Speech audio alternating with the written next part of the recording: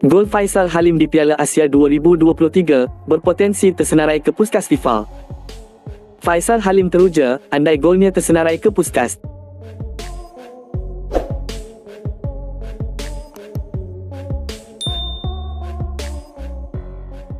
Tonggak utama skuad Harimau Malaya, Faisal Halim enggan meletakkan harapan lebih tinggi untuk golnya berada di anugerah Puskas FIFA. Namun, jika jaringan terbaik Piala Asia 2023 yang dilakukannya itu berhasil disenaraikan ke dalam Puskas, Faisal cukup berbesar hati dan gembira akan peluang yang bermakna itu.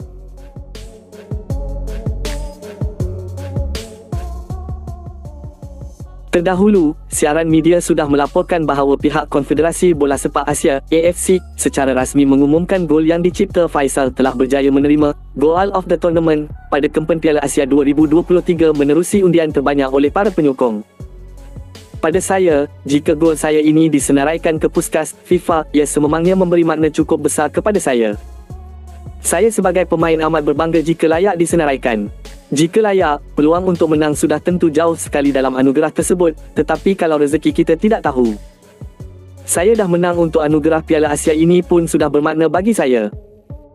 Ia satu anugerah terbesar dalam hidup saya dan memori ini akan saya ingat sampai bila-bila.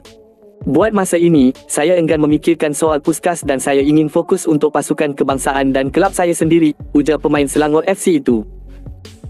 Dalam masa yang sama, pengendali skuad kebangsaan, Kim Pan Gon turut mengambil kesempatan untuk menzahirkan ucapan tahniah dan rasa gembiranya terhadap pencapaian anak buahnya itu. Beliau telah melakukan satu hantaran menerusi instastory yang memperlihat keterujaannya, Tahniah Faisal, Malaysia Indah.